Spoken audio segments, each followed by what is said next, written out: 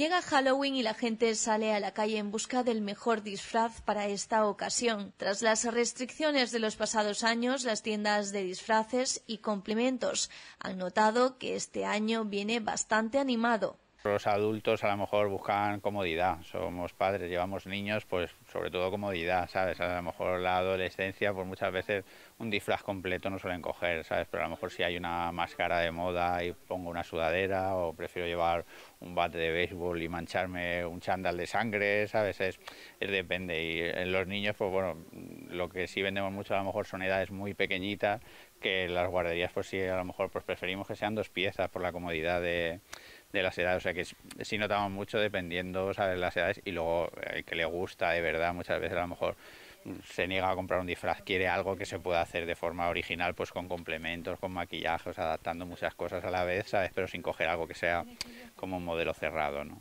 A diferencia de otros años, no ha habido ningún estreno cinematográfico ni ninguna serie que haya marcado tendencia, como pasó años atrás con el juego del calamar o la casa de papel. La vuelta a la normalidad tras la pandemia ha devuelto las ganas de disfrutar del Halloween. Estamos en esa tarea de, buscarle un disfraz a la nena. Aquí hay estos, pues, como de muñequita. O le vamos a llevar este.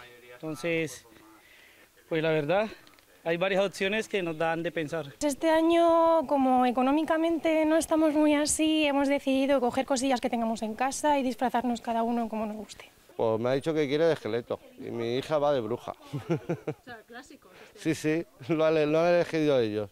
Yo no les he dicho que, querían y me han dicho que eso.